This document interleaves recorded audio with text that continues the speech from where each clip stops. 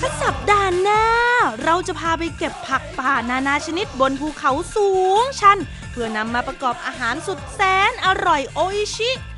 พลาดไม่ได้แล้ว ต้องติดตามรายการไดสุกิเจแปนทุกวันอาทิตย์เวลา 7 โมงถึง 7 โมงครึ่ง ทางช่อง Bright TV